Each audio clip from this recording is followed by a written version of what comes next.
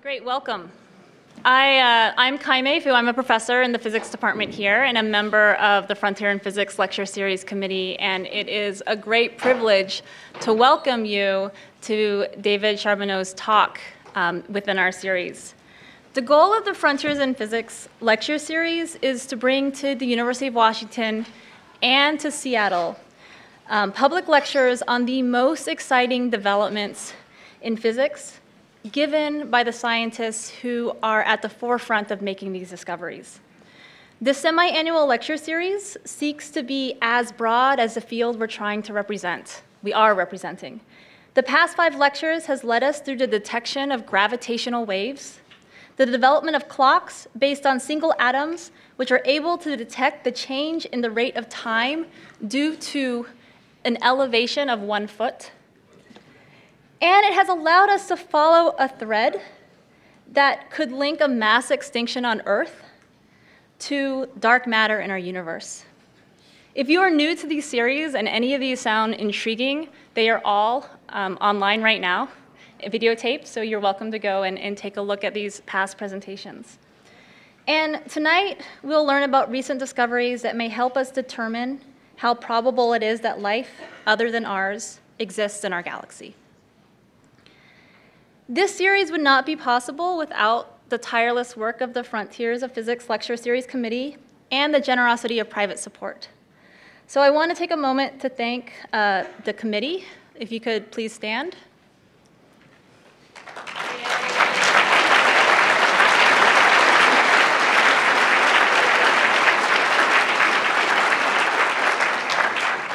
And also the benefactors Dr. Patrick O'Hara and Dr. Katarina Randolph, whose vision it is, is the reason why we're sitting in this lecture hall today.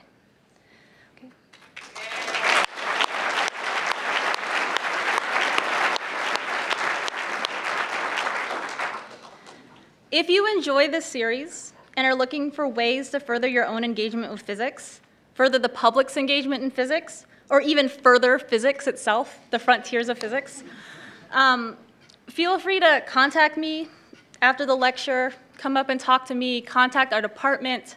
Um, just send me an email, send the department chair at physics, uw.physics.edu. Blaine will thank me for that. No, really, you should reach out um, to us.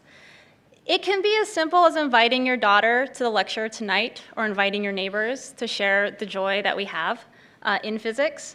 It could be supporting an inspiring young woman to go to the undergraduate, um, the, the conference for uh, undergraduate women in physics, which actually we are proud to host at University of Washington this year, and we just got 284 applications yeah. from the Pacific Northwest.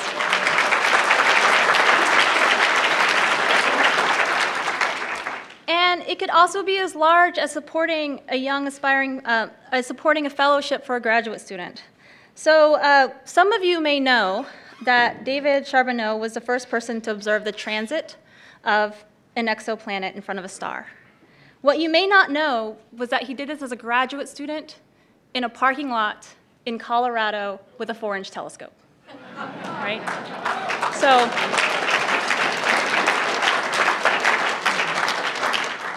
it is not a very well kept secret that the people who are on the ground doing the work, making the discoveries, are our graduate students, and we're very proud of them at University of Washington and beyond. So moving on to introducing David.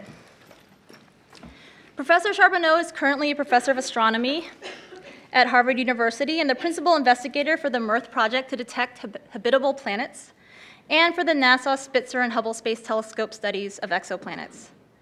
From that very first transiting exoplanet observation, he's been at the forefront of exoplanet research, including the first measurement of an exoplanet atmosphere, the first detection of light from an exoplanet, and the first discovery of an Earth-sized exoplanet. Please join me in welcoming Dr. Charbonneau to the University of Washington.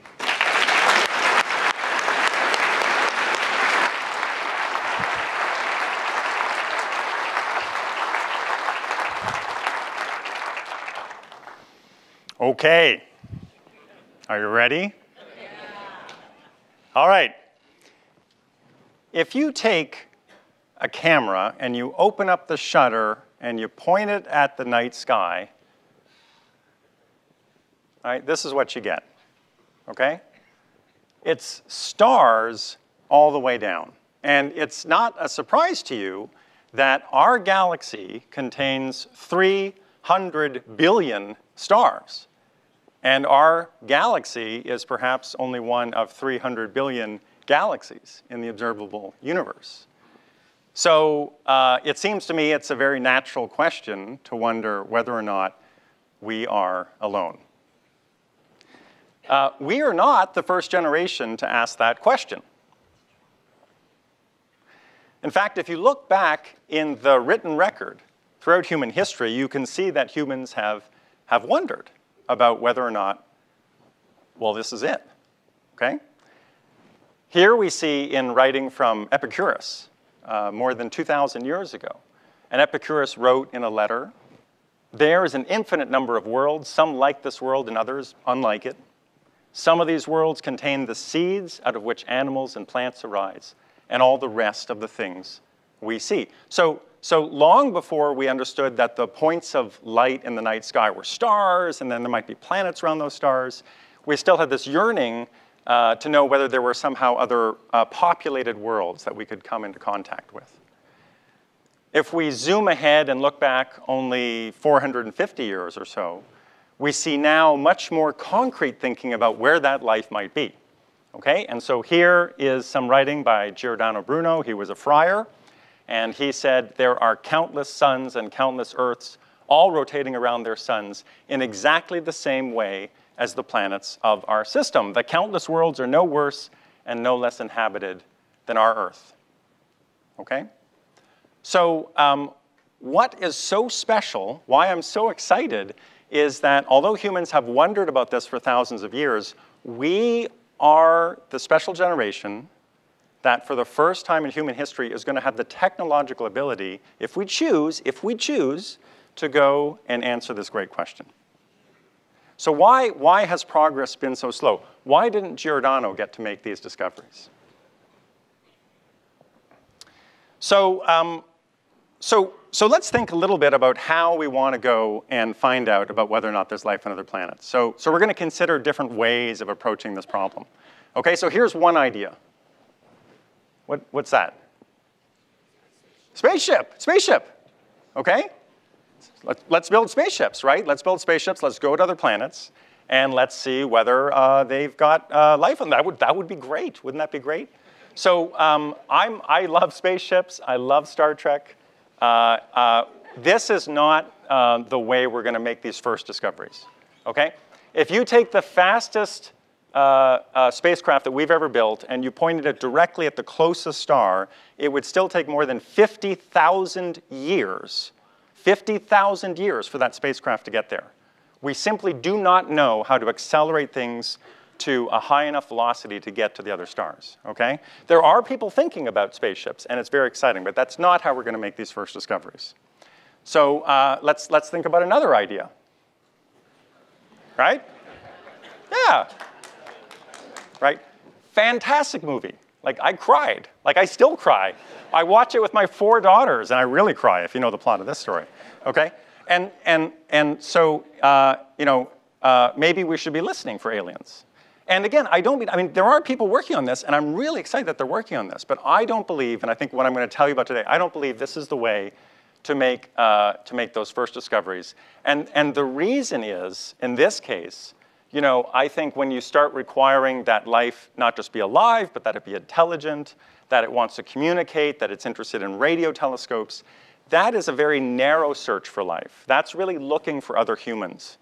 And there may be other humans out there, but I'm going to advocate that we need to create and cast the broadest net possible when we go and actually make the first search for life uh, outside the solar system.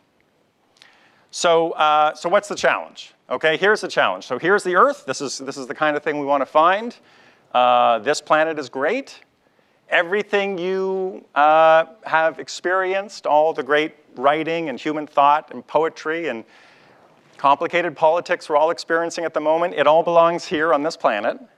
And uh, the first thing we got to know is this planet is really small. Okay, so let me compare this planet to another planet uh, in our solar system, right? That's Jupiter. So drawn to scale, that's how big the Earth is compared to Jupiter. Okay, so the Earth is really, really small compared to even other planets in our own system. And, and of course, the trick when we're looking at other stars is that the, the light from the star overwhelms the planets. So let's, let's now put these two planets drawn to scale uh, next to the sun. Okay? So, so that's the correct size of the Earth compared to the sun. And you can immediately see what the challenge is and why poor Giordano had no chance of actually finding uh, Earth-like planets around other uh, sun-like stars. So, um, so what's the trick? What allowed us to suddenly make progress? And actually, I showed it to you at the very beginning. Did you catch it? It's not, it's, did you, did you, it's not a period. It's not a period, okay? That's an actual image. It's not photoshopped. That's a true image of the sun at a very special moment uh, a few years ago, June 20, 2012. Anybody? What happened? Venus. Venus went in front of the sun.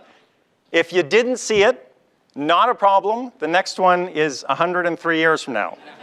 So, sorry. But um, so, so this, this idea that uh, that planets occasionally go in front of their stars. That's the hook. That's the way we're going to get at this um, question. And in particular, something, something very exciting happens when planets pass in front of their stars. Okay? If we zoom in, if we zoom in on Venus, okay, this is, this is Venus now, okay? So the sun, the sun drawn to now would go way, you know, several stories below us. I'm just zoomed in on Venus. And this is when Venus is just creeping onto the limb of the sun, okay? in 1761, okay, a Russian scientist by the name of Lomonosov first observed that even before Venus was entirely within the confines of the sun, the outer limb of Venus was bright. And he said, ah, that must be refraction. And what we're seeing is light being bent by an atmosphere, and therefore Venus has an atmosphere like the Earth has an atmosphere. And it was a remarkable inference, and he was right. He was right. It, this, this, is, this is proof uh, hundreds of years ago that, that, that Venus had an atmosphere. That's the idea that we're going to use to begin exploring other planets. So, uh, so here's, here's kind of uh, the task for today. These are the big three things I want to make sure you don't leave without me covering. Okay? The first is I want to describe the methods by which we find and characterize planets. You have to know how we're actually doing it to understand what we can measure and what we can't measure. Then I want to, I want to get to describing our current state of knowledge of Earth-like planets. What, what have we actually learned? And it is amazing to think, you know, if I, had, if I had given this talk a year ago, how much less I would have been able to tell you, how much has happened really just in the last 12 months. And then, and, then, and then at the end, we're going to talk about the first opportunity for really going and actually not just finding Earth-like planets, but actually planets that actually have life on them, and how we would actually make that inference. So, uh, so the methods. Let's start with the methods, right? Okay. So uh, we're going to talk about uh, one way to find planets, and that's called the Doppler method, uh, or the radial velocity method, or the wobble method. And the basic idea is the following the star, the star is not stationary. The star and the planet actually orbit each other. The star doesn't move very much because it's much more massive. So picture it as like uh, two dance partners. There are two dance partners holding hands, but one dance partner weighs 300,000 times more than the other dance partner. okay, so one, one, one partner's being really swung around, that's the planet. The trouble is the planets don't put out light, so you don't see that. But you do see this one dance partner that's kind of you know, and, and what you can measure is that the star is changing speed. It's sometimes coming towards you and sometimes receding, and that's periodic. And, and, and that's the way that we can find planets, and in particular, because the mass of the planet affects how much it changes the speed of the star, we can deduce the mass of the planet this way. Okay, got it? That's method number one. Method number two is the transit method, and that's, that's the Venus idea we talked about. The planet goes in front of the star. Unlike the case for Venus, we don't actually get to take a picture and see a black dot in front of a resolved star. But we can measure the total brightness of the star, and we can see that the star is fainter. when the planet's in front. And, and big planets block more light. So, so by measuring how much light is blocked, we can deduce how big the planet is. And then, and then we can put those ideas uh, together. Okay, so if, if, if the planet is a, is a sphere, and we know the mass of the sphere, and we know the size of the sphere, we can figure out the density without any assumptions. Very simple, very, very simple idea, really hard to do, by the way, but, but very simple idea. And, and then you can get the density. And of course, if the density is the same as, say, hydrogen, then the planet might be made of hydrogen. If the density is much higher, similar to that of rock, maybe, maybe we found a rocky planet. Okay? All right, so those, those are the principal methods. Now, the other thing that transits do is they allow us to probe the atmosphere.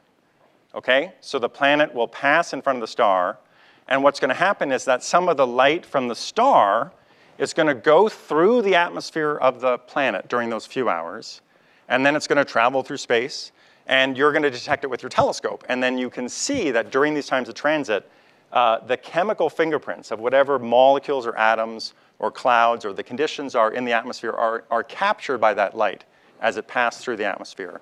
And like fingerprints, we can then look at that light and say, oh, there's uh, water, or there's methane, or there's whatever gases are present in, in, the, in the atmosphere of the planet. Okay? Now, this, um, uh, this idea of transiting planets has really taken off. So in 2001, in 2001, okay, we knew of one such planet. There was one planet uh, outside the solar system that actually made these transits. And now in 2018, there's more than 5,000 such planets. Okay? So it really is a special moment in human history. How, how will studying the atmosphere tell us that there's life? Right? Well, if, if, if you were an alien astronomer doing this experiment on the planets of the solar system, you would see that there's something really special and different about the third planet from the sun. Okay? And that's because life has radically changed the content of our atmosphere. And, and, and for example, one of the things life has done is produced a lot of oxygen, right? It's a, it's a waste product for plants. It's unintentional, getting back to this idea of should we be listening for radio signals.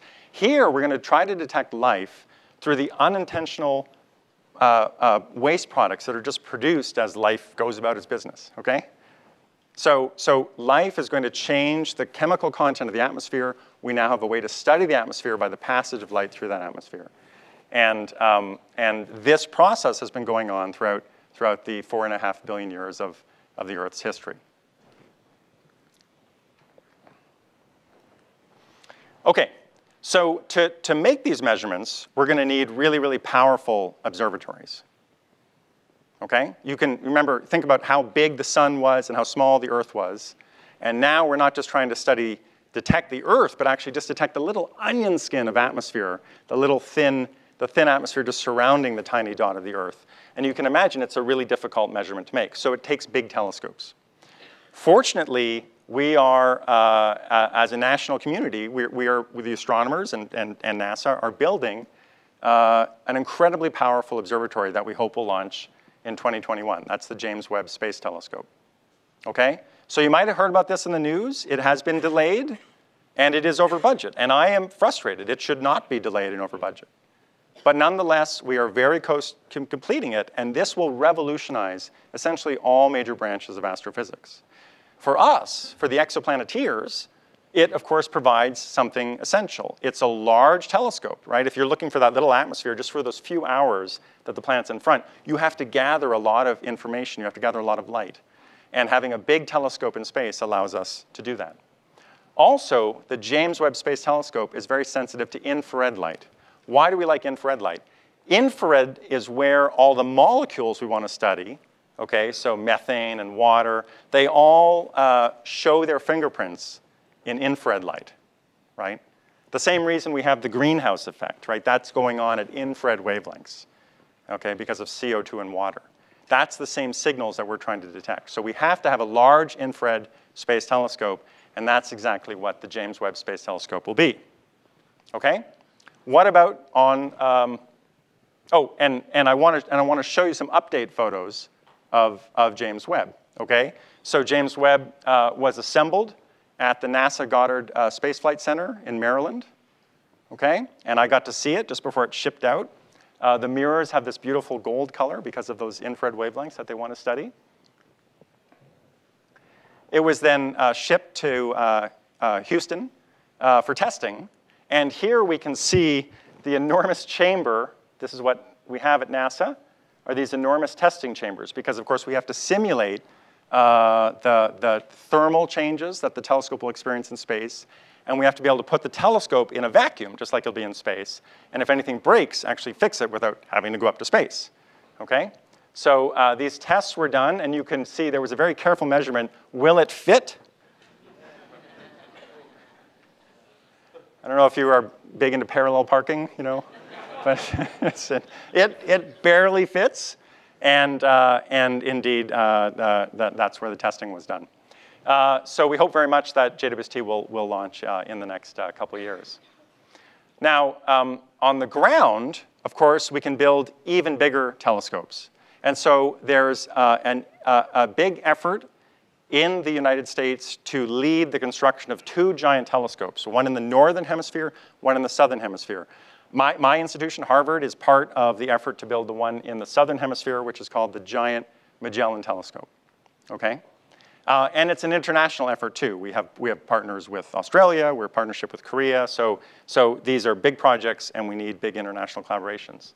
This, this uh, telescope, when it, when it goes online, uh, which we hope will be about 2023, will be the largest optical telescope ever constructed. Okay? It's going to be uh, enormous and thus be able to gather an enormous amount of light and really be able to probe these exoplanet uh, atmospheres. Just to show you how big it is, okay? So these are the mirrors that will go into the telescope. We have cast five of these seven mirrors, okay? We've put them into the big molds with the glass, melted the glass. Um, we do this under the football stadium at the University of Arizona, because that's the only place on campus that's big enough to actually house these sorts of mirrors. And you basically put in the glass and melt it, and you spin this entire dish, and that creates the shape that you want because the glass is a liquid. And then you cool it slowly over months so that it doesn't crack. Um, when those mirrors are cast, they look like this. That's one of the mirrors. Okay? That's this middle mirror with a donut in the middle. Okay? That's what people are sitting on. It hasn't been polished yet, that's why it doesn't look silver. But that's the actual mirror. So we've cast five of these, and we're trying to, to build the other two. Now, for perspective, right, remember I talked about the James Webb being much bigger than anything else we've launched in space. The James Webb mirror is six and a half meters. That would, be, um, that would fit tidally within one of these mirrors. Okay? These are eight and a half meters, and so you can see how much bigger things can be on the ground.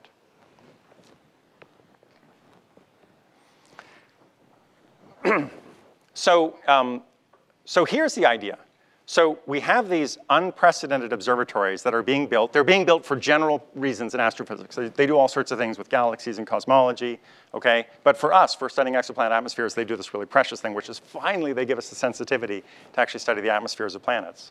And so the idea is working together, can these telescopes, like the Giant Magellan Telescope, and the James Webb Space Telescope allow us to get at these, these precious little uh, atmospheres. Okay? So, uh, and the answer is yes, they can. But there's only one little challenge, right?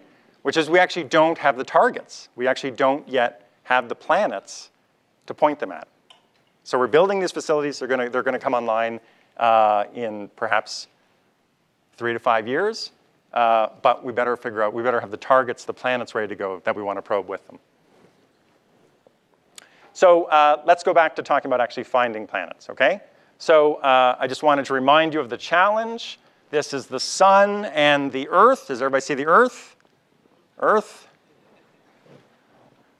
No, it's not. those are spots. Those are sunspots, which are much bigger than the earth. Did you know that? The sunspots are bigger than the earth? That's the earth. Right there, I think. My not great. Yep, that's it, right there. So that's, that's the Earth. Uh, and so um, finding the Earth, like forget about just studying the atmosphere, but you can imagine seeing the fraction of light blocked. It's about 84 parts per million, tiny, tiny little signal as, as Earth-like planets go in front of their sun-like stars. That's how we're going to find these planets, okay?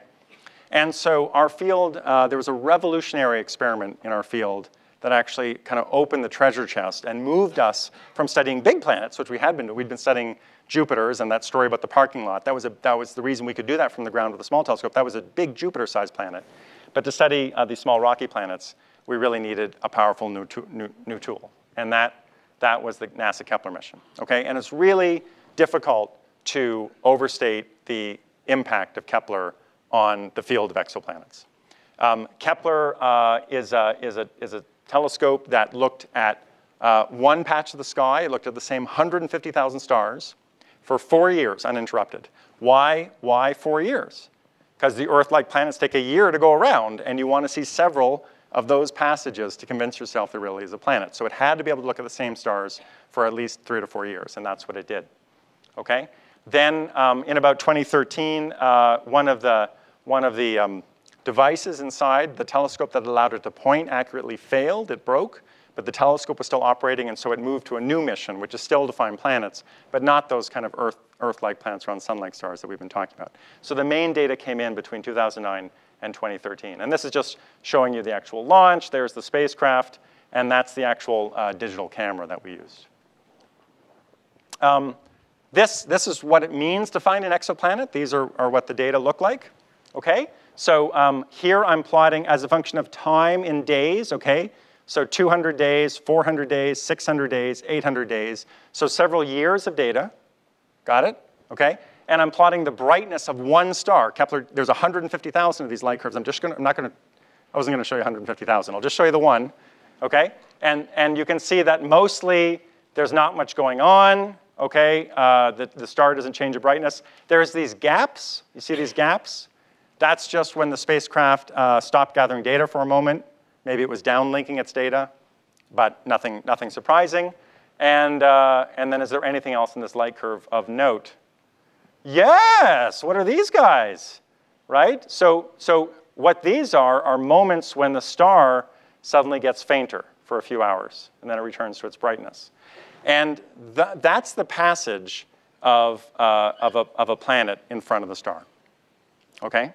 And so um, you don't need a computer to find those, and so you can basically say, oh, I can measure the, the orbital period, the year for that planet, and, you can, and then you can cut the data up into chunks and fold it, fold it over, and you can see this very nice signal. So if I zoom in on each of these, and I plot them over on top of each other, I get this. Okay, so that's, that's what it looks like for a planet to go in front of, in front of the star.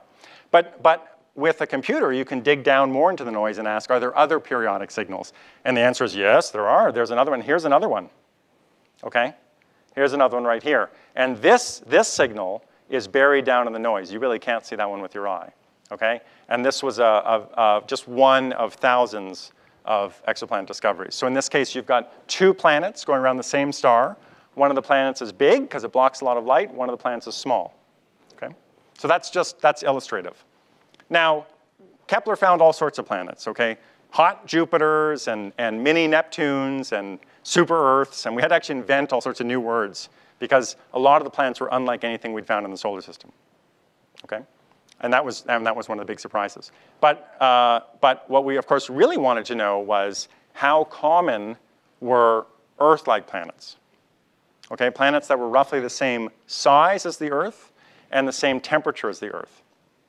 And so uh, what that means is we want planets to be in, in what we call the habitable zone. So the habitable zone is like the Goldilocks zone.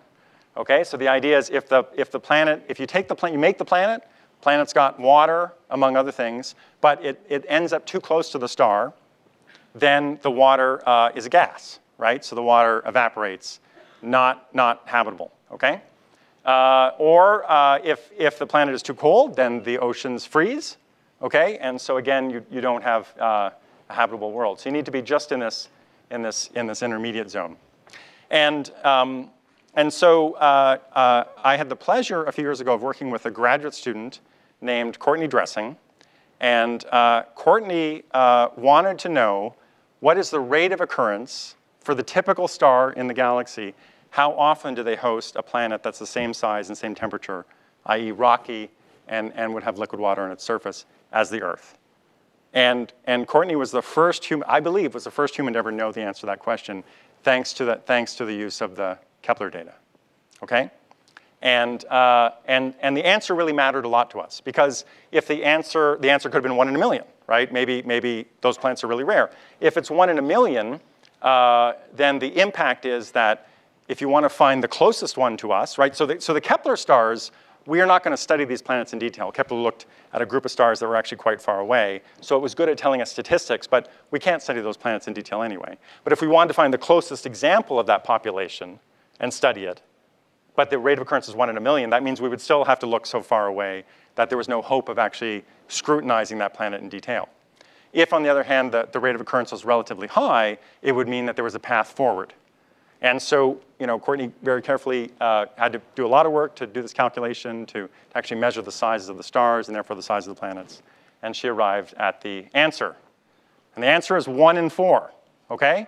One in four. So one in four uh, typical stars in the galaxy has a planet that's, we think, broadly speaking, what we call habitable. Okay? And uh, Courtney has done quite well. She's now a professor at Berkeley, which is a small technical college, I think. uh, okay, so, um, all right, so uh, now, if we want to really get at the atmospheres, okay, uh, then, uh, then, then what's the challenge? Okay, so the challenge is we need stars that are not too far away. Okay? As things are closer to us, they are brighter. Okay? So we need the closest possible stars. And our ability to study the atmospheres is limited by the fact that many of the targets we want to study are simply too far away. So we need to be able to look at the closest stars. And um, the size of the star compared to the planet really matters. Okay? So, uh, so you, remember, you know, if we have a really big star, then the planet is tiny, the atmosphere is really tiny, it's really hard to scrutinize the atmosphere. If, if somehow we could magically make the problem easier, then uh, we should do that because it'll give us access with the same size telescope to more planetary atmospheres. So, um, uh, so I often tell the story that in high school, I was told a terrible lie. I was told, I hope you've never lied to by your teachers. I was lied to by my teachers. I was told that the sun is an average star.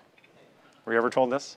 All right, so it's a, it's a big fat uh, lie. The sun uh, is not an average star. The sun is a freak. The sun is much bigger and, and more massive and more luminous, puts out a lot more energy uh, than the typical star in the galaxy. Okay? So the typical star in the galaxy is what we call a red dwarf, one of these red dwarf stars. And compared to the sun, they're about a quarter the size of the sun, uh, maybe a quarter the mass of the sun and they only put about one one thousandth the amount of energy per unit time that the sun does.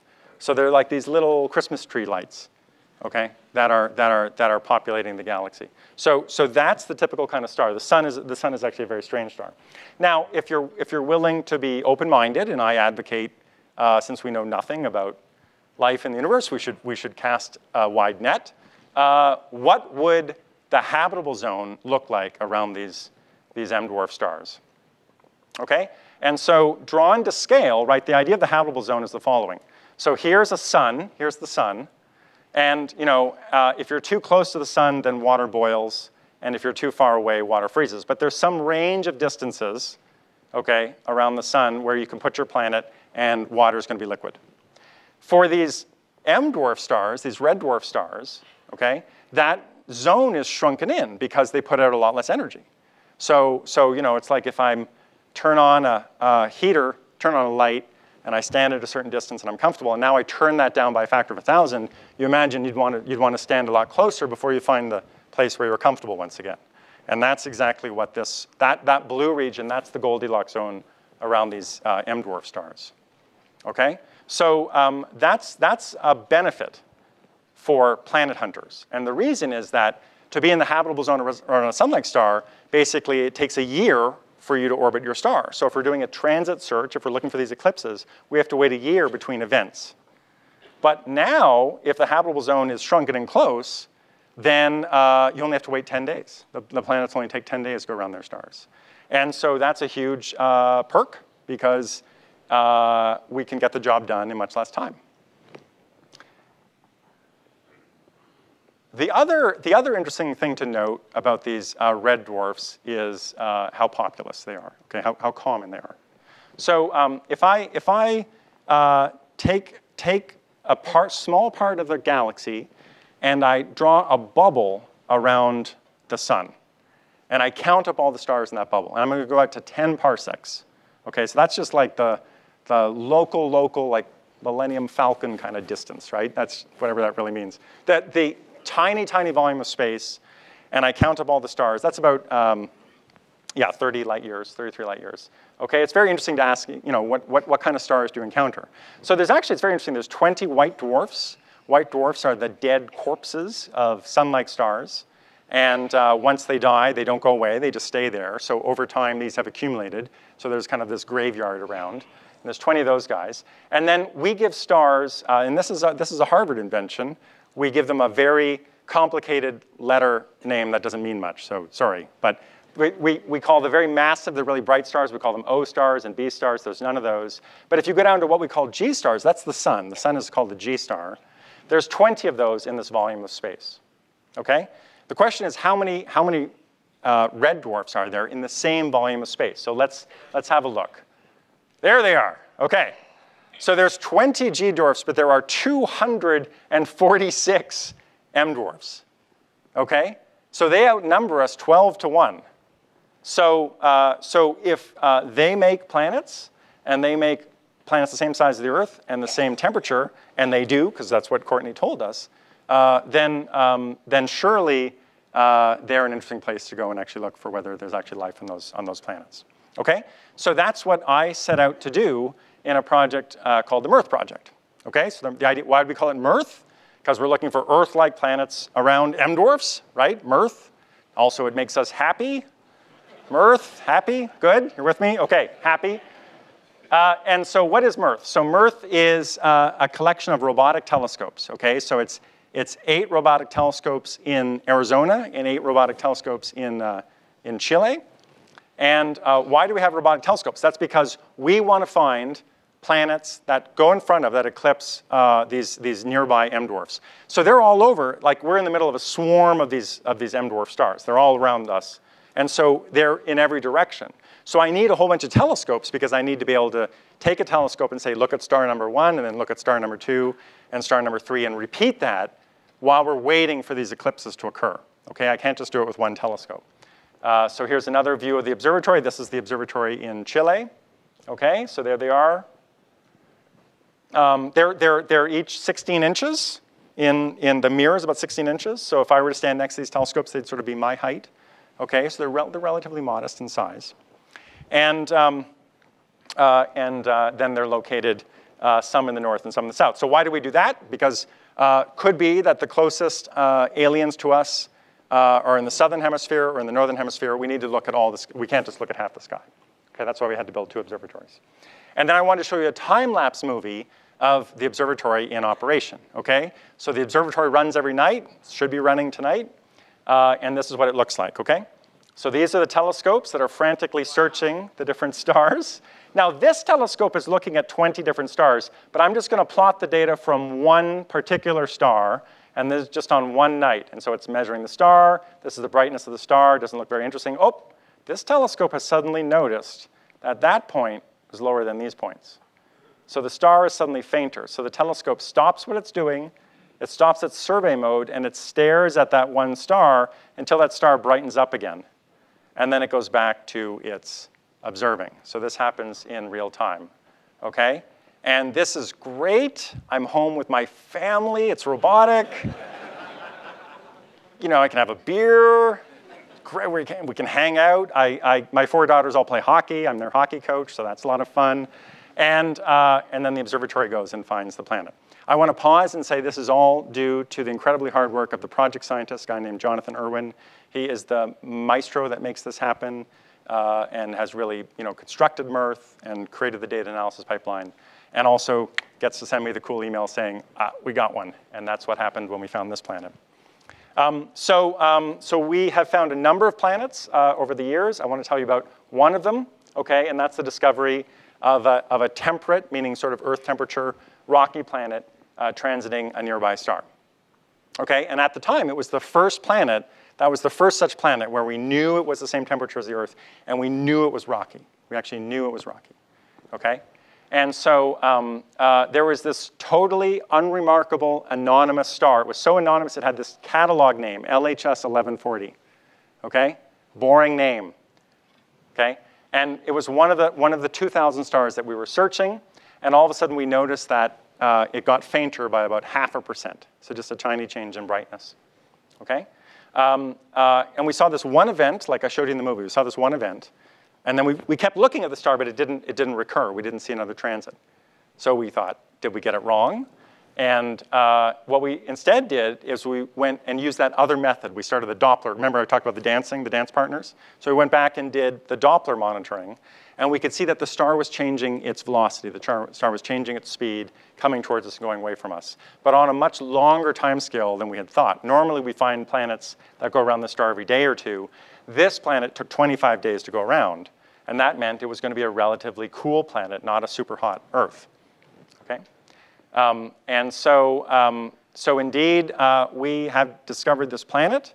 It's got a terrible name. If the star is called, so, so so in astronomy, when we find a planet around a star, we take the name of the star, which in this case is LHS 1140, and the planet is LHS 1140b.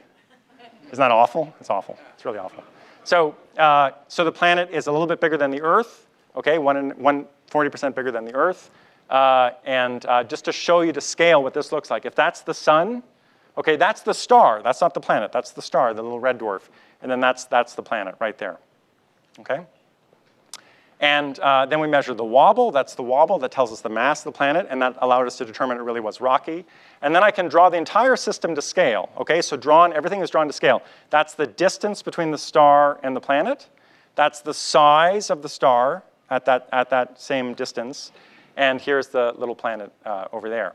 And it's, it's far enough away that this planet gets only about half the amount of energy that the Earth gets, which actually means it's squarely in the habitable zone. Okay, so, so if, you look at, if you look at our uh, solar system, the Earth is kind of at the inner edge of the habitable zone. If you're a little bit closer, we don't think the Earth would be habitable, right? Venus is not habitable. But the Earth could be a little bit farther away, and particularly for these red dwarfs, you can get a little bit less energy. So uh, there's a habitable uh, planet. Okay? Now, just recently, like, like just in the past few weeks, something interesting happened with this star. So so we, um, after we'd found this planet, we went and used the um, NASA Spitzer Space Telescope. Okay, and so that's an infrared observatory that can stare uninterrupted at stars, and it's really good at making light curves. And we were monitoring, we knew once we figured out when these transits were happening, we were using that observatory every uh, 25 days to go and observe the next transit, just to see if anything uh, interesting showed up. Okay, and so um, here's uh, one of those uh, uh, data sets. Okay, so this is the eclipse, right? So the star is bumping along and then it goes down. That's the expected planet going in front of the star. These data are very high quality because it's now being gathered in space, and then it brightens back up again. At, at the time that we were doing this, a new graduate student, a guy named Kristo Ment, uh, showed up and was working with me, and he was very excited. He'd heard about machine learning. He said, I've heard machine learning is cool and I want to use machine learning, but for astronomy. I said, okay, sounds great. He go take. So he went and took this really hard computer science course, um, and for his final project, he was able to use the MEarth data and actually uh, do a machine learning project. And he said, I think I found a planet. I think I found another. And I said, well, really, what star? And he said, well, it's actually it's the star that you already have a planet about. I said, no, that that Kristo. I know you're a new grad student. It's exciting.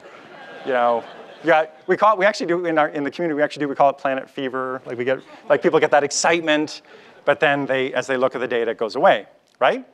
And uh, he said, no, I'm pretty sure. And so I said, well, go talk to this guy, Jason Dittmann, who had been a previously graduate student but was now uh, working over at MIT as a postdoc, because he has the Spitzer program. And Kristo walked in, and Jason said, damn it, I knew that was a planet. and there's the other planet.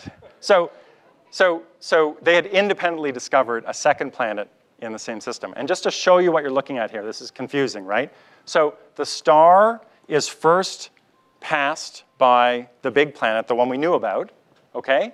But then it so happens, at the time of these data were gathered, a second smaller planet also passed in front of the star. You can tell it's smaller because it blocks less light, right? That's the first planet. It blocks half a percent. This guy only blocks maybe a quarter of a percent, so it's a smaller planet, right? And also this planet is orbiting interior to the known planet. How do you know that?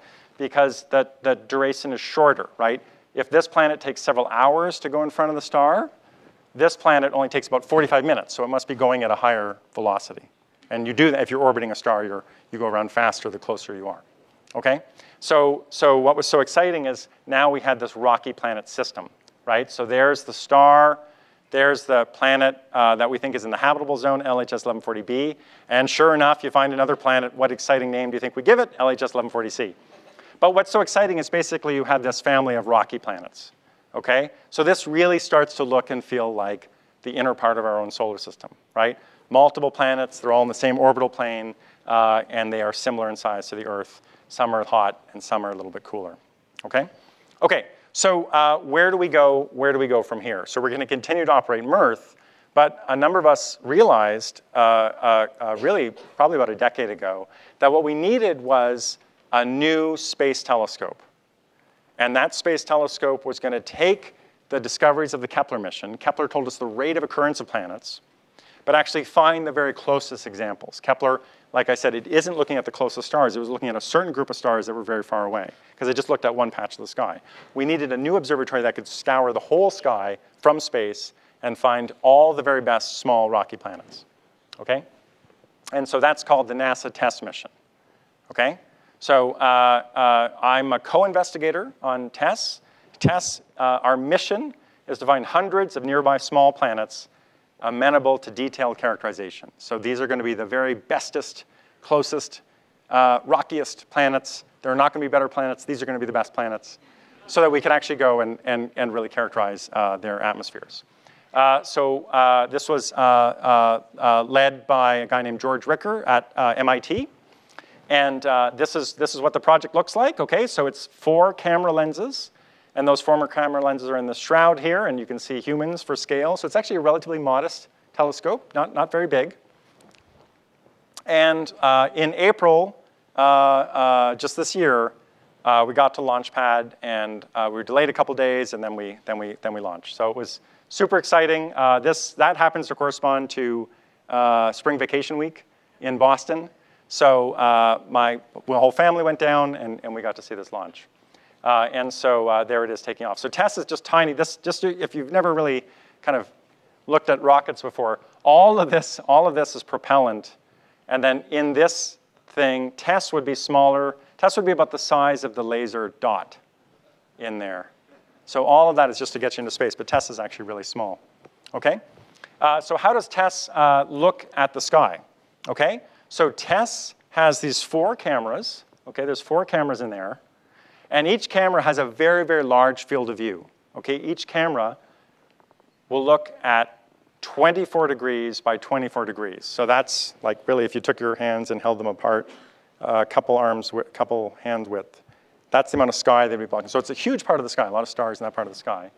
And then the four cameras are pointed so that in one shot, it looks from the pole, it looks from the, what we call the ecliptic pole. So if you take the plane of the Earth's orbit, okay, the pole, if you look up towards the, the pole of that plane, then, then, then TESS looks from there all the way down uh, in one single snapshot. And this is kind of what we call the TESS salute, because if you can kind of get your hands open enough, one camera points up and then the others work their way around.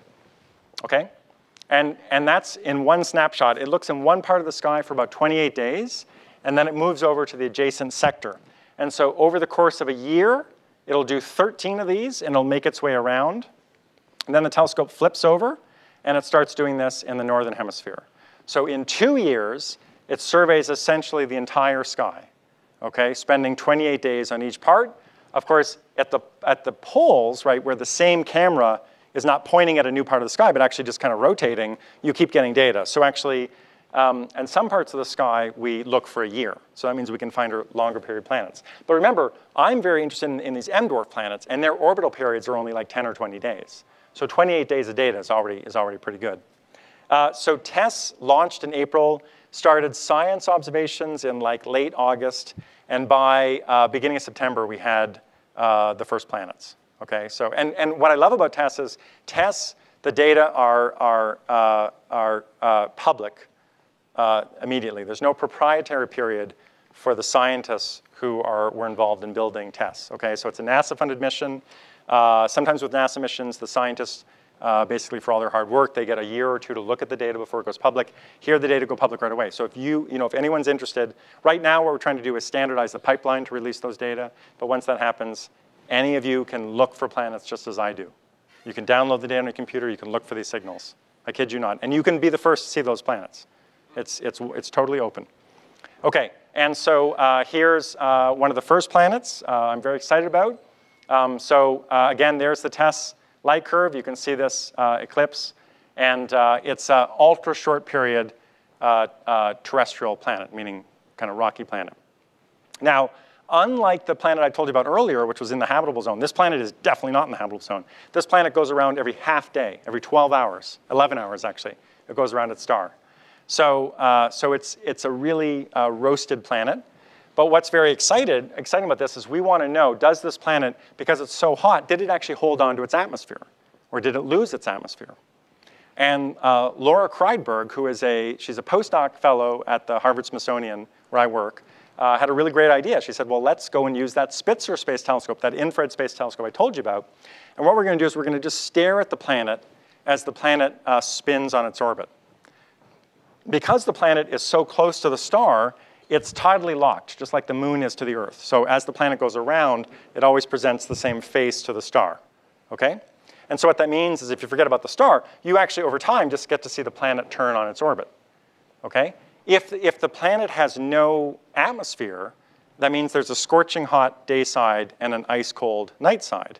And if you look in the infrared, that means when you look at the day side, the planet's really bright, and then it gets really dark as you, as you look at the cold night side. If, on the other hand, the planet has an atmosphere, then there is no such day-night variation, or at least much less. So, so what that means is, and, and so she wrote this proposal, and I said, Laura, no, they're not going to give you 100 hours for that idea. It's, you know, it's, it's, they're almost wrapping up the Spitzer mission. Anyway, of course, she, she wrote it and she got the time. And so uh, in December, in December, we're going to get those data. And uh, yeah, don't listen. So in, she, we're going to get the data in, um, in December, and that'll be the first. That'll be the first time. Yeah, that's the first time that we have a rocky planet orbiting under the star, and we're going to actually know whether or not it has an atmosphere. So ultimately, we want to get to the point of looking for for like oxygen, right, in the atmospheres of planets, and that will show us that there's life.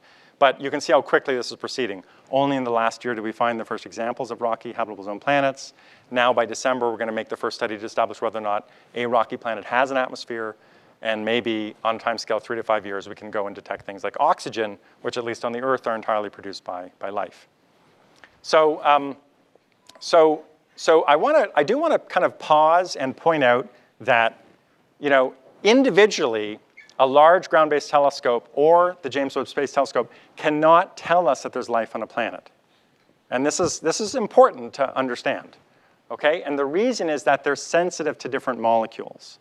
So, so, so the Giant Magellan Telescope, okay, the Giant Magellan Telescope, it's actually a great way to go and detect oxygen. And oxygen is very precious because on the Earth, oxygen really is all produced by life.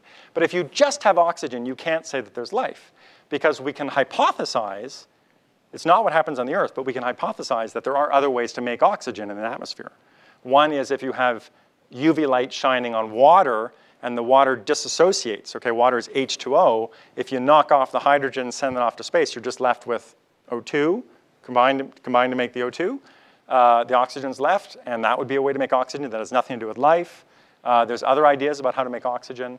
So you, you have to do more, and what you need to do is with James Webb, you can detect methane, and carbon monoxide and carbon dioxide, that puts that oxygen in context, okay? So the idea is together they can get the data that will allow us to conclude that there really is life. The GMT, these large ground-based telescopes that can search for oxygen, and the JWST can put that in context and tell us whether the only plausible explanation for that oxygen really is due to biological activity. So that's, that's the vision for finding life on other planets, okay? Not, it's not spaceships, it's not SETI, it's this very practical approach of looking for what the Earth is, you know, the Earth is broadcasting to space all the time the presence of life through the chemical signatures in our atmosphere. And we should, we should go and do the same thing and look at other, other alien atmospheres. so, um, you know, kind of to step back, um, I think it's really, you know, astronomy is a very special field, right? We, we, uh, we don't often generate a lot of practical uh, goods for society, right? We, you know, I mean, I, I really admire my colleagues who work in the life sciences and are trying to rid us of the scourge of disease, or um, some of my colleagues who work in engineering and really are, are making our lives better and more enjoyable through, through, through, through, through uh, technical innovations. Um, what does astronomy do? I, I would say uh, astronomy really is great about allowing us to get at some of the really profound questions, which I started by telling you have been with us for as long as we've been writing down our ideas. Okay?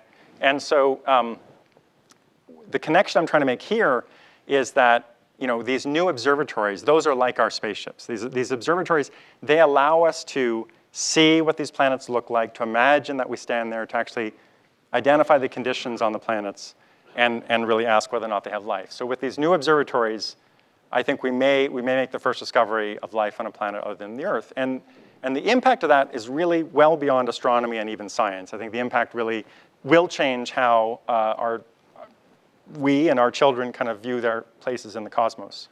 So um, uh, part of, kind of the best part of my job is that I get to work with uh, these amazing students from around the world. And uh, you know, in visiting the university here for the last uh, couple days, you know, I, I can see that like joy in my, in my fellow professors here, right, where they're just working with these amazing students at the University of Washington. And, um, and so I, before I giving you know, a public talk, I wrote a number of my students and I said, look, tell me what you, you know, what are these new powerful observatories? What does that mean for you thinking about the future? And so these are some of my former students and what they wrote back. Okay, so this is Heather Knutson. Uh, Heather was a graduate student with me. She's now a tenured uh, professor at Caltech. Uh, and here's what she said. She said, there's nothing like staying up all night on top of a mountain to observe a new planet. You can walk outside and say, there it is, that star. We're exploring new worlds and traveling to a distant mountaintop to use one of the world's largest telescopes as part of that process of exploration. So for us, the telescopes really are like these spaceships. They really are this magical way to travel to distant worlds.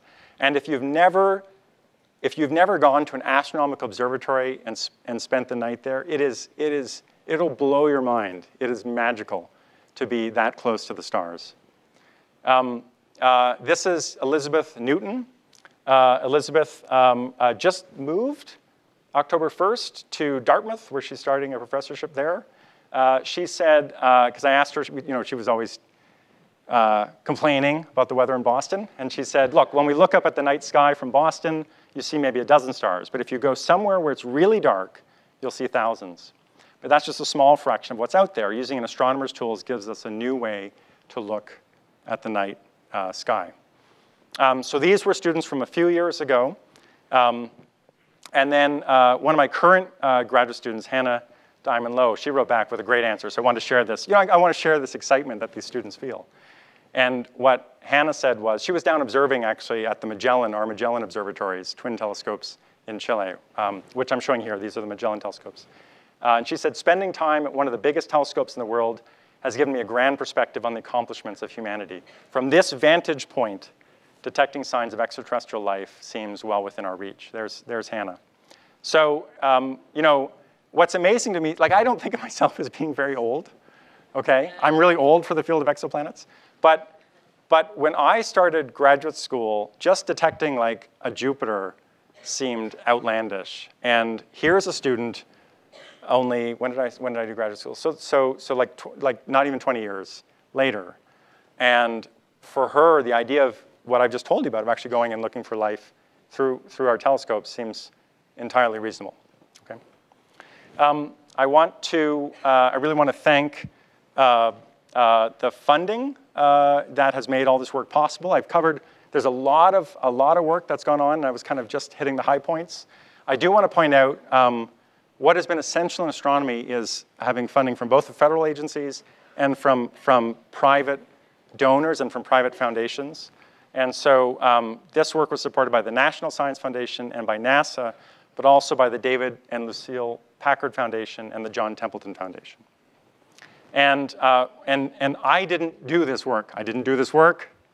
I get to work with the most amazing people, and, and these are their names, Zachary Berta Thompson, Jason Dittmann, Courtney Dressing, Raphael Haywood, Jonathan Irwin, Mercedes Lopez Morales, Kristo Ment, Elizabeth Newton, Joey Rodriguez, who's given the colloquium on Wednesday, I think, and Jennifer Winters. Uh, they, uh, they, they're, they're, I was showing you their work. Okay, so, uh, so to wrap up, okay, so, th- so this is stuff you want to be talking about at breakfast tomorrow, okay? Yes, this is what you're going to talk about, or tonight even, but these are the high points. Okay, so, so the big takeaways, right? Big discoveries, red dwarfs are the most common star in the galaxy by a long shot, and there's at least one habitable planet for every four red dwarfs. That's number one. Number two, we have begun to find the closest transiting Earths, okay? And we're planning to study their atmospheres with the next generation of powerful telescopes. So just in the last year, we have found examples of these habitable rocky planets, and we are building currently the observatories that will allow us to get at their atmospheres. And number three, the search for atmospheric biomarkers such as oxygen will be humanity's first attempt to really answer this, this great question about whether or not we are alone. Okay, with that, I want to thank you and ask if you have any questions.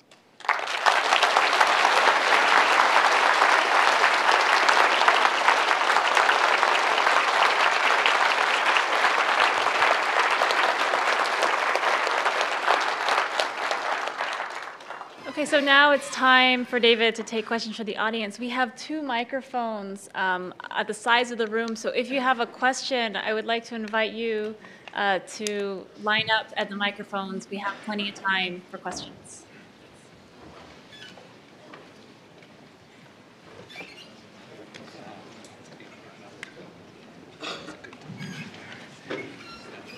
And we'll just go back and forth, so you can start. Hi. So you're saying that the, the one in four for the red dwarfs, but are the orbital planes always in line with Yeah. our viewing? I mean, aren't Great some of them question. this way? Right. So, so one in yeah. So one in four of these red dwarf stars has such a planet. Does that mean that one in four transit? The answer is no. So only about one in fifty uh, transit. So only one in two hundred or so will actually have the planet and show it to us. So uh, so that's right. So most of them don't eclipse, but but the subset that does, that's the that's the ones where we're going to do these observations. Yeah. And in fact, recently we discovered, not, not we, but the community discovered that the closest star to us, which is a red dwarf, which is called Proxima, has a planet. It doesn't look like it transits, but it has one of these planets. So they really are very common. The uh, planet that had the sexy name, Right. How far away is that planet? What's the distance? Oh, so that's uh, 12 parsecs away. So that's really close. So that so they What's that mean? I don't know what a parsec is. right. So so that's uh, uh, Yeah, like right. So like 35 uh, light years, 40 light years. But the, but the very, I mean, that's that's that's basically. Um, okay, so if if uh, if if I shrunk the entire galaxy, if I took the entire galaxy, and I shrunk that down to the size of the United States. Okay, so like Los Angeles to Boston, that's one edge of the galaxy to the other. That planet would be like walking across Central Park in New York. That's how far, that's how close it is to us, the distance across Central Park compared to the distance across the United States. I've heard the um, the prospects for finding habitable planets around red dwarfs criticized on What? this is um, on the ba- on the basis that because These questions are supposed to be monitored. Oh.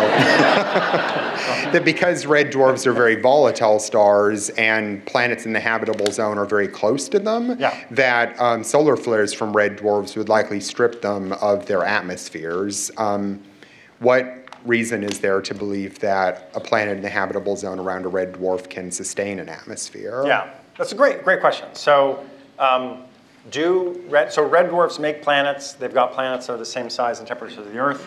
Are they good parents? Do they actually allow those parent, those planets to flourish? Uh, so they, they have been much maligned over the years. It is true. Uh, red dwarfs have personality, and they do uh, they do have large flares and ultraviolet light.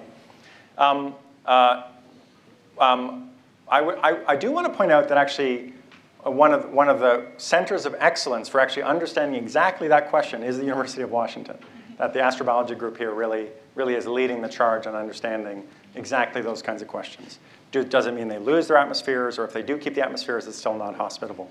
And a lot of my answer I'm about to tell you comes, comes from their research. Um, so uh, yes, I say it was common wisdom like 34 years ago that you shouldn't look at red dwarfs. Um, but no, the answer is when we look in detail at red dwarfs, they actually don't flare as much as people had thought. And actually, once they're, once they're relatively old, they calm down, they never flare, they spin very slowly, and they have very little uh, UV light. So actually, once they're modestly, once they're moderately old, they're very, very quiet. Um, and so uh, that, that star that I was telling you about, LHS 1140, our sun spins every 25 days. That star spins every 130 days. That's how calm it is. And it never, in the entire four years we've been looking at it, it never has had a flare. So, so uh, dwarfs get a, get a bad reputation. But when they're young, they do flare. And the question is, can the planet survive this kind of turbulent youth and, and still then emerge to, to being habitable? And we don't know. And so ultimately, I would say it's a great thing to be worried about. We need to go do the experiment. And sadly, we might learn that they don't allow life. But, but, but it is where we should begin looking, because that's, that's currently where we, where we can look. Uh, next, we're you're on this side, yeah. If you were a betting man, how long do you think it will be before we uh, find one? How long do you think it'll take? So I'm not a betting man. All right, so next question. no, uh, so, so it's a great question. Of course, that's what keeps me up at night, like literally, because I'm an astronomer, it keeps me up at night. The, um, I would, uh, so I would say I, I, uh, I, I think, I think, I think many astronomers will concede one opinion or the other. I, I actually am open-minded. I actually think that uh, it, we may find the first, the, the first planet we look at where we actually have the sensitivity, we could find life. And, and basically, there's lots of reasons to think that life is very robust. Once you have roughly the right chemical mixture of elements, you've got sort of the right temperature, you've got liquid water. I mean, look how quickly life took hold in the Earth. Life is inevitable. On the other hand, I wouldn't be surprised that we look at 10 and then 20 and then 100 of these exoplanets and don't find life and learn that life is actually, it was a very rare event on the Earth. Um, importantly, it's not the case, you know, often people get into an argument about numbers and they say, well, uh, there's 300 billion stars in the galaxy and there's 300 billion galaxies, so then the probability would have to be like vanishingly small for there not to be life. That's not a good argument to me because I need to be able to measure it. And so my observable universe is not 300 billion. Uh, it's, it's, it's just the local region of space where my telescopes can actually probe. And so in that case, it's only thousands of stars. So we really might find that among the closest 10,000 stars or even 500 stars, whatever it is, that there just isn't one with life on it. And so we are effectively alone. I realize it's not your area of expertise, but are there opportunities to find signs of life in our own solar system? And are people looking? So, the, so the great thing about being a Harvard professor is I can speak forcefully about things that are not my area of expertise. So, so I, I think that uh, uh, so it's, it's a fascinating question. I think, I think that, of course, a big part of what NASA does, so astrophysics is just one quadrant of NASA. And a lot of, a lot of our effort uh, to explore the solar system, of course, is led by NASA. So, so yes, there are very exciting opportunities to look for life uh, on um, uh, uh, Titan is one idea. Uh, that's the moon of Saturn, or Enceladus, uh, or Europa. So Europa is a moon, one of the big moons of, of Jupiter, where we know that there's liquid water under a, a fairly thick ice layer, several miles. Um, and and missions are proposed and debated.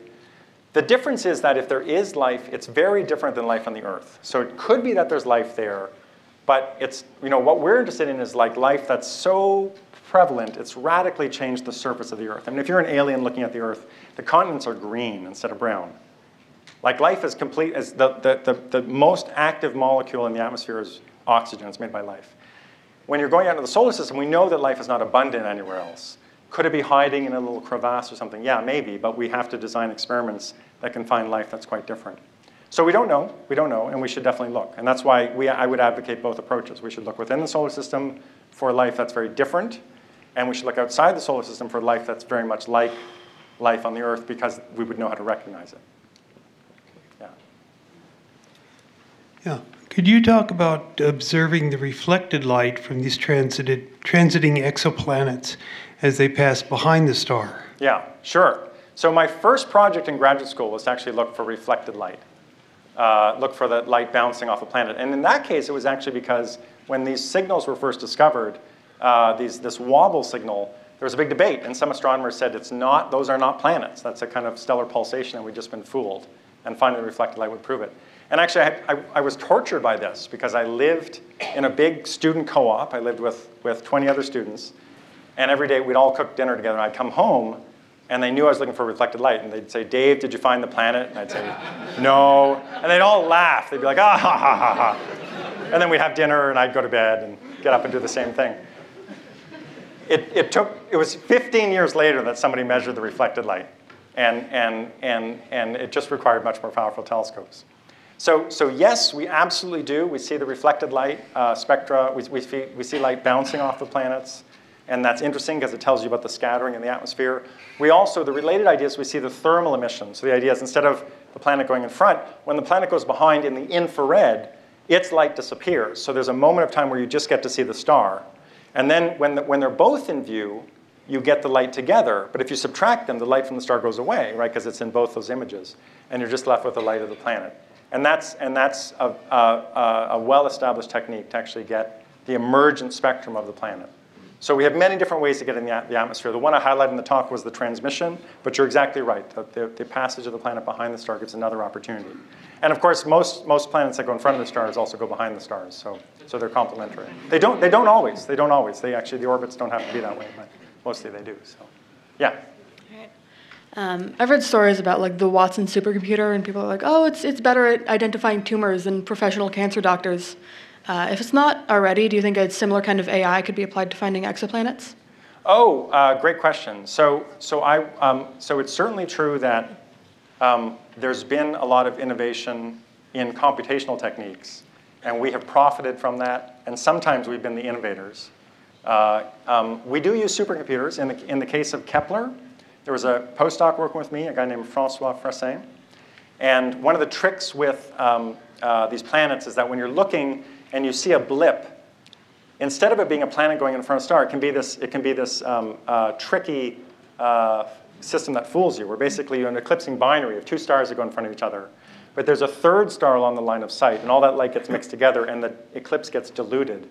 And the way you rule those out is you have to basically consider the, the universe of possibilities of, of those and, and weight the probabilities. And so basically, we use the supercomputers at, at uh, NASA Ames Research Center uh, in the Bay Area to, to answer those questions. So, so we, do, we, do, we do use a lot of these innovative techniques in, in trying to process our data.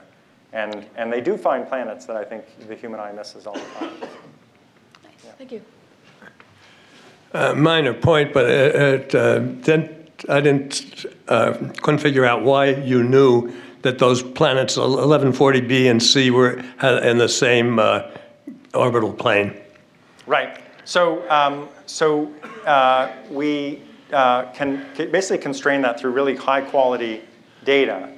You can, you can tell the core, so basically, if you picture the star, and as you go across different lines I would draw across the star, the transit will last different durations of time. But there's another independent measure of how quickly the planet is moving, which is actually the ingress, this little brief moment where the planet gets onto the star and gets off the star. That gives you a separate measurement of how quickly the planet is moving. And so basically, once we model that data very carefully, it gives us uniquely what we call the inclination, the tippiness. And in that case, they're exactly aligned. Not, not all systems are. We see systems where the planets are misaligned. And in the solar system, the planets, some of the planets are a little bit misaligned. And, and that's really important. You know, that, those numbers are very important for understanding uh, how the planets formed and how they evolved after they formed, basically whether they were stirred up or not. So. Thank you. So as someone who builds spaceships for a living, don't sell us short. You know, we may get there yet.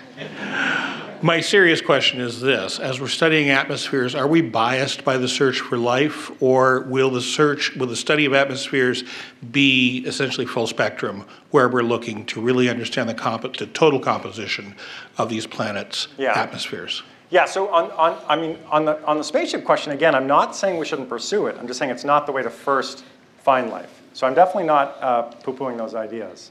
Uh, just that the way to do this, the, this, this stuff, this stuff can come to fruition in 10 years, maybe less. And the spaceship thing will take, take longer.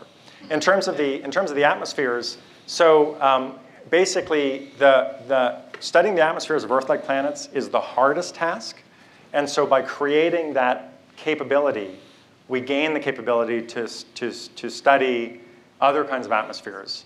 Uh, and so um, uh, we have been for 15 years studying the atmospheres of gas giant planets across a wide wavelength range. There are many exciting, here I've chosen to focus on the search for life, but there's many, many exciting scientific questions that have to do with the physics of the atmospheres, how the atmospheres are produced, how the atmospheres are lost or retained, and all those, that sensitivity is, is going to be available to us as we push on this hardest thing, this kind of most demanding application. It kind of opens up all the other stuff for us. Yeah. Thank you. Are there any challenges with uh, short period variable stars that have similar light curves to transits? Yes. Uh, so yeah. So stars are intrinsically variable, and in particular, they have spots. They have spots, and and so you know, in some of those, uh, I can show you light curves where the stars are bouncing up and down. That's actually a, a positive because it tells us how quickly the star is spinning. So we actually get information. Fortunately, it never mimics a planetary eclipse. The planetary eclipse, the, the thing you realize is if this is the star, the planet goes in front, but it's only in eclipse about 1% of the time. The rest of the time, it's over here, it's over here, it's over here, it's over here, and the star looks flat. Whereas a spot is continuously varying. So even if they're at the same period, they have every single spot is going up and down all the time. This eclipse looks like nothing, nothing, nothing, nothing, nothing, nothing, eclipse, nothing, nothing, nothing, nothing. So fortunately, we don't get confused that way. Yeah. So speaking of atmospheres, our planet is experiencing some issues with global warming. Has there been any studies about the effects of global warming with our surrounding environment, even though you know the planets are far away from us? Is it insignificant or a nominal to where there might be some concerns or changes? And do we also monitor other planets that go through similar temperature changes? Oh, I history? see. Yeah, so you're asking uh, whether we think about those sorts of changes in the atmosphere as they apply to other planets? Or yes. Asking, is that what you're asking? Yeah, what the effects are with global warming with our planet. Does it make a big difference for neighboring planets as a whole? Or is it so insignificant that it might not even make any difference? Yeah, so I mean, certainly um, the, so the, the, the composition of the Earth's atmosphere has changed dramatically, very slowly, but over, over time uh, through life, but also through physical processes, through volcanoes and outgassing and so on. And, and we definitely, there have been very interesting papers written about whether you could see those. So that one of the benefits of astronomy is we can find Earth-like planets of different ages. So we can, we can find planets around other stars, and we can guess the age of the star. And we can find Earth-like planets that are only 100 million years old, or that 1 billion years old, or 4.5 billion years old, or 10 billion years old. And we hoped by basically putting together this, this family, well, this, this kind of portrait of planets over time, we could actually see how these atmospheres uh, vary. Um, but global warming, of course, is a much more shorter time scale. That's, that's, a, that's, a, that's a sort of 50-year time scale. And it definitely would produce observable effects, but they would, they would be pretty catastrophic. They'd be, they'd, be, they'd be very different. Thank you. So, how likely is it for us to find um, life as we know it, and how different could it be? Yeah, great question.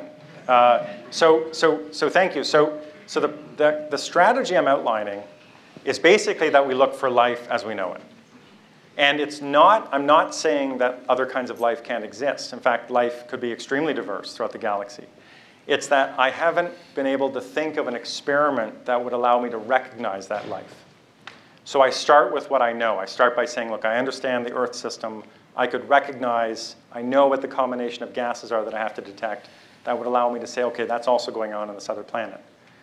I'm, I'm really hopeful that other future students like yourself are going to come up with those ideas about what, what, how do we actually now go and find other, other signatures of, of other kinds of life life that isn't on the Earth, but we'd still feel confident that we'd be able to infer it based on data we can realistically get with our telescopes.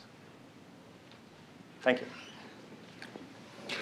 Uh, Yes, you say habitable planet, and I'm just wondering if we were to stand on one of these planets, could you speculate on what the conditions would be like? Huge tides, a very dim star, maybe, uh, ice, uh, these kinds of things. Yeah, so, so uh, that's right. Habitable does not mean pleasant. Uh, um, you know, I mean, I, I, I grew up in Canada.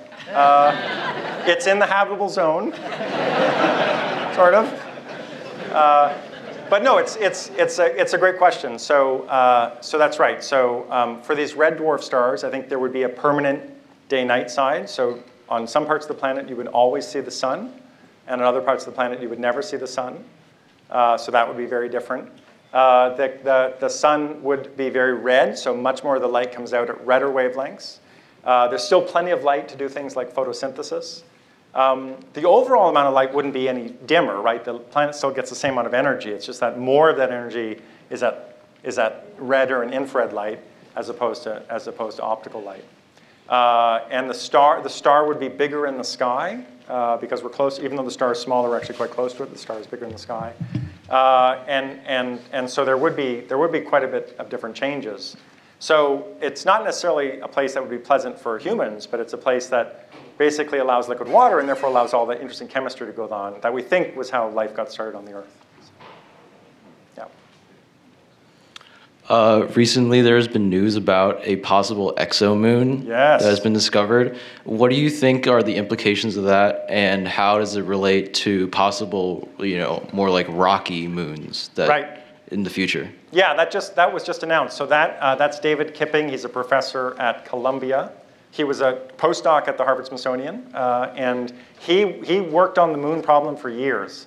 And so he's finally saying that he's got enough data to go forward. He himself is is using kind of somewhat skeptical language. He's not saying this is a slam dunk. Basically, it's a it's a somewhat weak signal in the data, and it's a strange moon. The moon itself would be the size of Neptune and it orbits a Jupiter-like planet. So that's really unlike anything. The moons in our solar system are all very small compared to this sort of moon.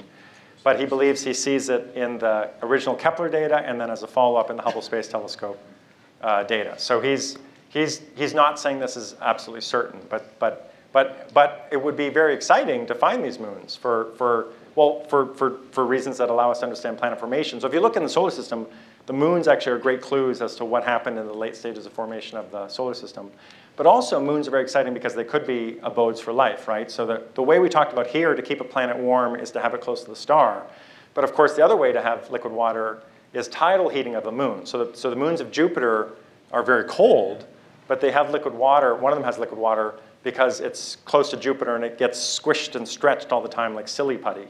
And so that generates enough heat that it can actually uh, melt, the, melt the ice. And so that's, that's also a possible new kind of uh, habitable environment. So. Thank you. Oh, oh yes. Um, thank you.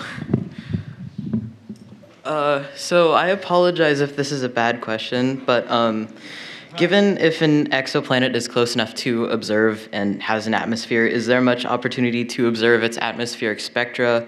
And if so, can you tell anything about the surface composition of the planet from the spectra itself? That's a great question. Sorry. Never apologize. It's a good. It's a really good question.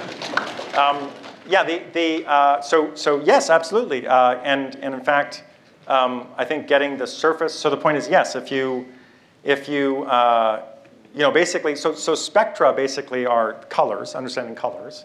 And so yeah, if we could if we could measure the brightness of the planet in different colors, then we could we could uh, uh, learn something about the surface conditions.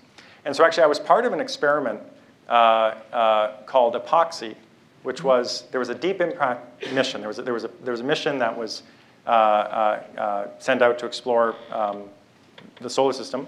After it was done, the camera was left over, and we used the camera to turn back to the Earth and observe the Earth as it turned on its axis, right? Yeah. And we measured the brightness of the Earth in different colors. And then Eric, Hellman- this was work done here at the University of Washington with Nick Cowan and Eric Agol and others. basically what they did is they took the brightness in different colors. Okay, so you just mm-hmm. measure how the Earth, you, you measure the total brightness of the Earth in a blue wavelength and a green wavelength. And they said, let's pretend I know nothing about the Earth. Can I make a map of the Earth? Can I make, because it's exciting, right? Because the point is, at sometimes the Earth looks bright and sometimes it looks faint because it's reflecting. And they actually concluded that the Earth would have a certain number of continents and a certain number of oceans, and the continents would be green as opposed to brown due to forests. And it was amazing what you could learn just from basically those spectra. So it was, it was really a really nice study. Yeah. Proof of concept. That's uh, really cool. Thank you. So, what would you say is the probability of finding a system elsewhere that has multiple exoplanets, kind of like our solar system here that has like nine planets or whatever? And how many would have multiple habitable exoplanets? Yeah, uh, I, I'd say we, the great news is we know about such systems. So I was telling you about this system where we know there's two planets. Um, there's a really exciting uh, other system around a nearby small star called TRAPPIST-1. You probably heard, may have heard TRAPPIST-1. It's got seven planets, of which normally something like three are, are sort of roughly in the habitable zone. And there's other systems as well. Uh, certainly from Kepler, we see other systems, although those are generally too far away to study in detail. So it looks like these small M-dwarf stars are very good at making lots of rocky planets like a whole standing army of rocky planets, of which a bunch of them can often be in the habitable zone. So you could, you know, in our solar system, there's really only one planet in the habitable zone, but it looks like there's other stars where, where multiple planets would be habitable within around the same star. Um, hi. So you mentioned um, that you have systems in place to figure out the diameter and, and to figure out the um, so, so basically you can figure out the density of, of the planets. Um, also the atmosphere once it comes to it, would you be interested in finding out more things about the geology so you can make it more fine grained to know not only whether it's rocky, but what sorts of things are going on? And kind of, are, are there kind of any, any expectations that you have as to what sort of geological conditions yeah. would be optimal for life? Oh, that's, that's a great question. Yeah, so, so um, you know, the habitability of a planet, um, of course, depends on much more than its, uh, whether it's rocky and whether it's uh, temperate. And I think one of the big questions is whether it has an active geological cycle, right? So the, so the Earth has plate tectonics. It means that the atmosphere and the ocean and the mantle, the rocky mantle, are all talking to each other. They're all exchanging gases. And that's really important for the long-term habitability of the Earth. Uh, there's some planets in the solar system where they're no longer geologically active. And, and we think that that's a big reason why they lost their atmospheres. They don't have a magnetic field that protects the atmosphere. And they don't have a way of, like on Venus, once it didn't have oceans, it had no way of getting all that carbon out of the atmosphere. And so it's like Venus and the Earth have the same amount of CO2. It's just that in Venus, it's all up in the atmosphere. Ours is all down in the rocks because of this process. So, so, so I'd love to learn about whether they have active geological cycles, which I would do through magnetic fields. And yeah, through, in, in principle, this reflected light idea would tell you about the mineralogy. But in practice, that's going to be a much more difficult measurement. So, let's say this all goes great and you find exactly the planets you're hoping for with the right amounts of oxygen and methane and any other gases. Uh, what do you do next to study those planets and, yeah. and confirm that there's life there? Right, that's a, that's, a, that's a great question. And I, and I would say that I've, you know, I think that um, so, so, so, for, so, so, so at a basic level, I think there will be the usual scientific dialogue where some of my colleagues will say, I don't believe you. Um, and, and I'll say, that's fine, but what's your explanation of the data? And they'll have to propose a model. They'll say, I think it's produced by UV light. And I'll say, great, predict something about your idea. And their idea will predict the presence or absence of some other thing that we can measure. So that's how we will proceed. So initially, we'll have some evidence that there might be life. Somebody will come up with a competing hypothesis.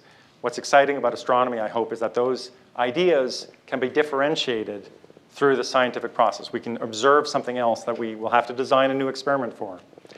So, so that's the big, and, and, and, I think, and I think that discovering life on another planet this way is not a simple, like, make a measurement and we're done. It's a slow, coming to an understanding that the only plausible explanation is life, that it'll, it'll, be, a, it'll be a probabilistic statement that will take many years to develop. But then the other, the bigger picture question, the, the bigger picture idea is I think going forward, you can imagine all sorts of other really exciting things you'd like to know, like is it multicellular life, and are there animals, and is it DNA based? And I don't have a clue how to answer those yet. But I do, I do think that you know, future scientists will, will come up with those experiments. I, I, I'm not able to, but I think that they will. I think a lot of our future scientists have already left um, lecture tonight.